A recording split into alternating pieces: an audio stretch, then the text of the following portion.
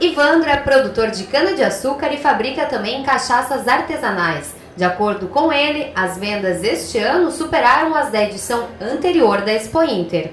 Crescemos mais de 30%. Nós investimos em quatro lançamentos de garrafas especiais, investimos na nossa extra prêmio que é cenário, investimos em site, investimos em vídeo e todo esse processo de amadurecimento do nosso trabalho, desde o cultivo da cana até aqui a comercialização, faz que com o tempo tu consiga crescer. Desde a abertura da Expo Inter, o pavilhão da agricultura familiar foi um dos mais visitados. O movimento superou as expectativas. Até ontem, na sexta-feira, já haviam sido comercializados mais de um milhão e meio de reais somente aqui no pavilhão da agricultura familiar.